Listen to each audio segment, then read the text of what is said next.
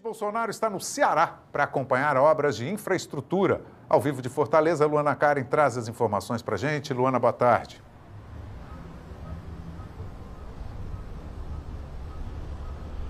Olá, Braga, boa tarde para você, boa tarde a todos que nos acompanham aqui na TV Brasil. O presidente Bolsonaro vai visitar as obras de duplicação de 24 quilômetros da BR-222 aqui no município de Calcaia.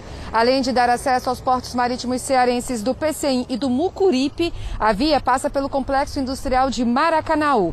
Quando estiver pronta, vai facilitar o escoamento de carga, reduzir o tempo da viagem e o número de acidentes aqui na região. A pista está sendo feita em concreto e terá novas pontes, viadutos sobre linha terra e terra, aliás, e passarelas para o trânsito de pedestres. A duplicação da BR-222 está orçada em 182 milhões de reais e a previsão é que a obra fique pronta em outubro de 2022.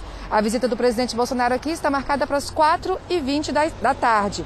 Mais cedo, em Tianguá, também aqui no Ceará, o presidente Bolsonaro assinou três ordens de serviço para a retomada de obras que estavam paradas há anos. É, são elas a travessia urbana do município de Tianguá, parada desde 2011, o início das obras de novos traçados da BR-222 na cidade de Umirim e no distrito de Frios, também parado desde 2016, além da conclusão do viaduto que dá acesso a Horizonte na BR-116, obra que estava interrompida desde 2018.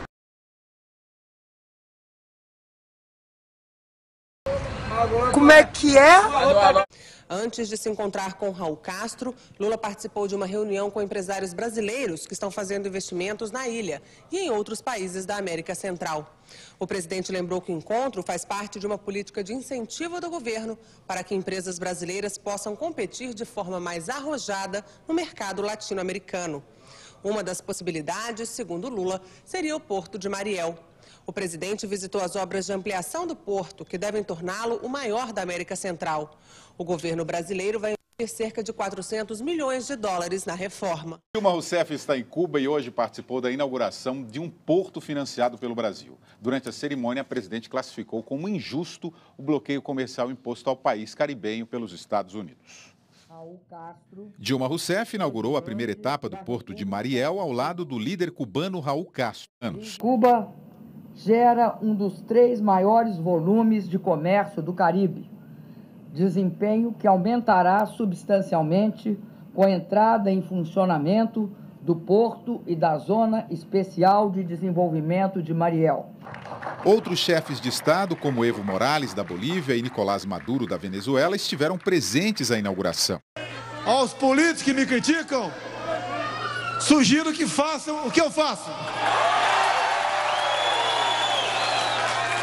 Tenho um prazer muito grande de estar no meio de vocês. Dizer a esses políticos do Executivo que eu mais ouvi por aqui é presidente, eu quero trabalhar. O povo não consegue mais ficar dentro de casa. O povo quer trabalhar. Esses que fecham tudo e destroem empregos estão na contramão daquilo que seu povo quer. Não me critiquem. Vá para o meio do povo, mesmo depois das eleições.